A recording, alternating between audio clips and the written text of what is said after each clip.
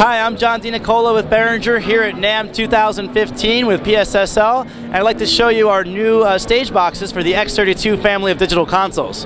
We have three new stage boxes to, uh, to complement the existing S16, starting with uh, our new form factors here, the SD8 and the SD16. So these are really cool because you can drop them right on stage, uh, right up on stage just like a drop snake because of these rubberized bumpers here. They also feature uh, hubs for our P16 system, the Ultranet hub. So if you're using a P16 monitor mixer, you can plug that right in and it's going to get powered right off of the stage box. Really pretty cool. And again, these integrate with the current S16 digital stage box.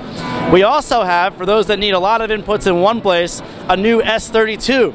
So this is basically the bigger brother of the S16. It's going to give you your full 32 by 16 uh, ins and outs right on stage.